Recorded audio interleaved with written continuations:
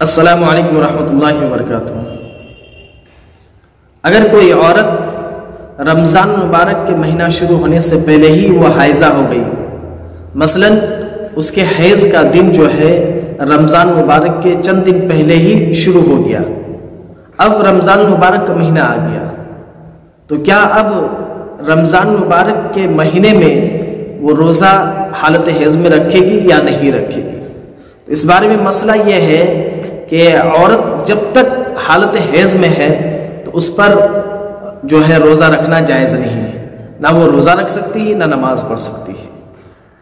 उस हालत में तो नमाज़ माफ़ है, लेकिन हालत हैज़ में जो है, जो रोज़ा, जो छूट जाए तो बाद में जो है उन रोज़ों का जो है कज़ा करना उस पर फ़र्ज़ होता है।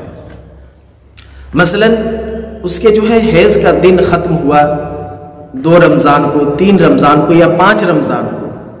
मसलन पाँच रमज़ान के उसके हैज़ का दिन ख़त्म हो गया। अब छठे रमज़ान से जो है वो रोज़ा रखना शुरू करेगी।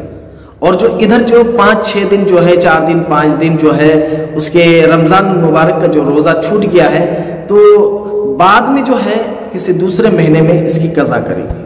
इसका कज़ा करना उसके ऊपर फ़र्ज़ है, लेकिन हैज़ की हालत में रोज़ा नहीं रखेगी। उम्मीद करता हूँ कि आप हजरात इस मसले को अच्छी तरीके से समझ गए होंगे।